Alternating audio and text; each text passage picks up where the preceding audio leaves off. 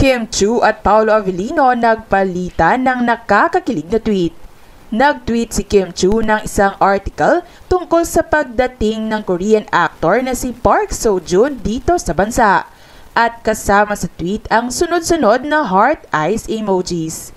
Hindi nga pinalampas ni Paolo Avellino ang pagiging fangirl ni Kim kay Park Seo-joon at itanong si Kim kung bakit hindi ito ganoon ka-excited nang umuwi na si Victor sa Pilipinas, ang karakter na ginagampanan ni Paulo Avellino sa series nila ni Kim na Linlang. Tweet pa ni Paulo Avellino, Bakit po nung umuwi si Victor sa Pilipinas di ka ganyan ka-excited? Narito naman ang naging sagot ni Kim. Narito pa ang ilang palitan ng tweet ni Kim Chu at Paulo Avellino.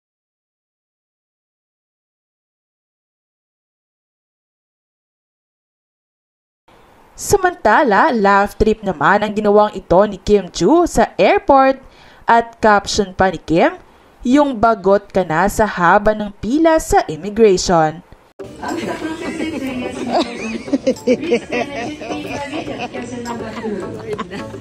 Ang laki nung na.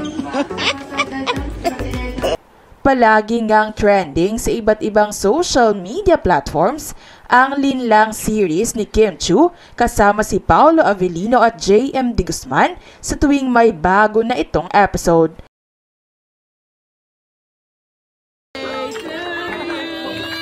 Happy birthday to to you. Happy birthday to you.